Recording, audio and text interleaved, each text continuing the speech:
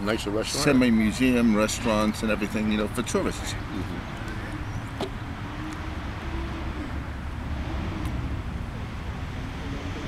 We went down there at a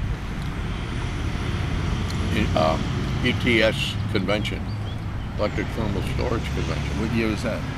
Oh, 1853. No, no, no. No, probably in uh, late 16, 2000, I mean, uh, 1916, 19, no, not 1916, 60. 66, maybe around in Yeah. there. And uh, it was pretty neat. And we got a beer. Everybody in the well, one must have been 20 of us. We all got a beer. And then they should have abandoned us. and the boss was about ready to leave. He was disgusted. We were going to eat. It seemed like they were taking care of everybody, but we just had a beer. Maybe they thought that's all they're going to have. I said, hang on a second. And I blew that whistle. And we got a little bit of attention. And then then he ignored us again, and I took a bottle and I spun it in the, between the tables, and they came in.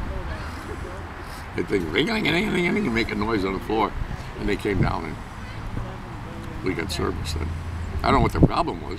We, 20 guys, are going to get a pretty good order. And that's a lot of work. And so they don't care about the order. They don't get anything. Maybe tips from you cheap-looking guys. You get tips and they're making minimum wage or whatever. I see they're trying hard to get minimum wage in New York up to 850. That'll make everything go up.